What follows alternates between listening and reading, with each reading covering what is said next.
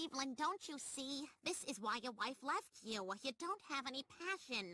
Sometimes a woman wants to see her man be a man. You gotta push back a little. You gotta get a little rough. Oh, God, Peter, hit me! Yeah! Ow! Wow, so that's, uh, that's something about Quagmire and, uh, Loretta, huh?